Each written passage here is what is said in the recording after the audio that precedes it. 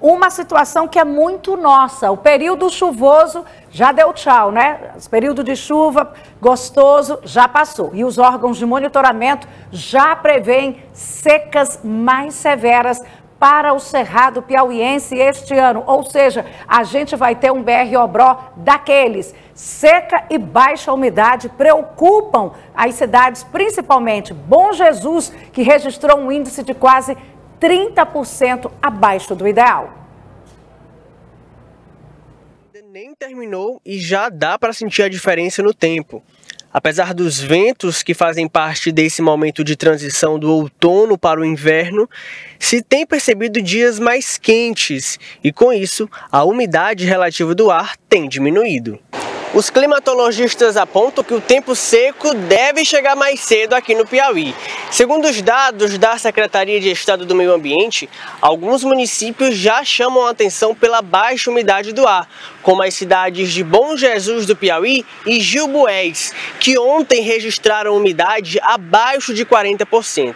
Para ter uma ideia, o recomendado pela Organização Mundial da Saúde é que essa umidade fique acima de 60%. A, a baixa umidade ela traz alguns problemas é, diretamente para a saúde humana. Tá? E a baixa umidade, ela também é em decorrência das temperaturas que começaram a ficar elevadas no nosso território. Na última semana, São João do Piauí, Corrente, é, começaram a apresentar baixa umidade, chegando à porcentagem de 30% né, da umidade relativa do ar.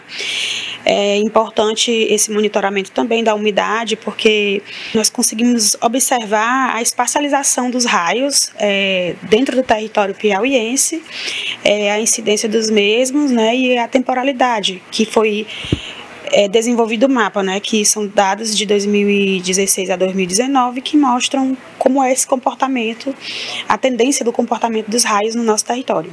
Outro alerta é para as cidades da região do Cerrado Piauiense, como Ruçuí, Baixa Grande do Ribeiro, Santa Filomena, Ribeiro Gonçalves e Corrente. Isso porque a seca deve ser mais forte neste ano nós identificamos que nós saímos da área de seca fraca para moderada. Isso é devido à ação do El Niño, né, que está interferindo na, na, temperatura e na umidade diretamente. E aí essa seca ela vai ser mais potencializada nessa região, na, porção, na porção sul do estado do Piauí. O relatório com os dados vai ser enviado para a Defesa Civil e para os municípios, para que já comecem a se preparar para esse período devem se preparar com relação à seca, né, através da captação de água para o uso pessoal, humano e animal, né, é, de preferência é, armazenar com fundo de solo, porque o solo absorve a água e ajuda na umidade é, do ar local, tá? O, nossa coordenação de incêndios florestais também já foi notificado, eles estarão intensifica, intensificando é, o monitoramento das queimadas nessa região.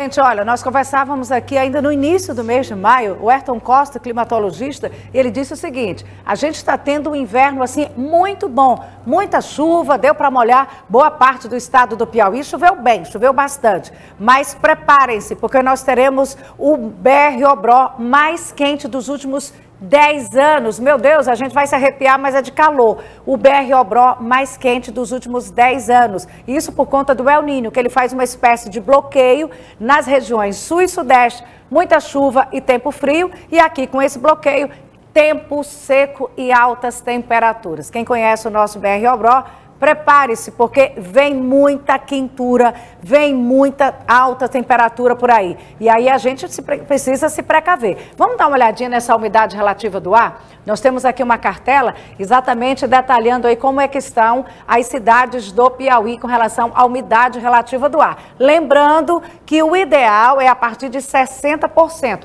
Olha como está aqui Bom Jesus, 37%. Gil Boés, 39%. São Raimundo Nonato, 40%. Como está aí a umidade relativa em Paulistana? 42%. Gente, isso aí é de deserto, é tempo seco e traz desconforto físico e problemas para a saúde. Lembrando, o ideal 60%. Aqui tudo abaixo de 60%.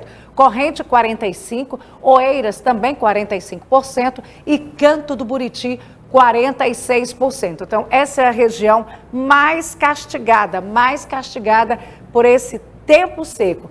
Tempo seco e, alta, e altas temperaturas. E o que que isso traz? Isso traz desconforto, isso traz problemas de saúde. É o momento que a gente precisa lembrar de beber muita água. Hidratação é importante, necessário, e a gente sempre fala das crianças e dos idosos, dos pets também. Vamos lembrar dos nossos animais que também sofrem, que também têm desconforto por conta dessas altas temperaturas. E olha que estamos no mês de maio e aí a gente ainda tem o forte do BR Obró, que aí vem agosto, já começa a esquentar, agosto, setembro, outubro, novembro e dezembro. Mas a gente já começa a sentir esse tempo seco. Então eu falava da hidratação, que é super importante, nada de exposição ao sol, principalmente nesse horário, que horas são? 12 horas e 30 minutos de jeito nenhum. Então muita hidratação para todos, não só para crianças e adolescentes, mas a gente precisa lembrar de beber muita água.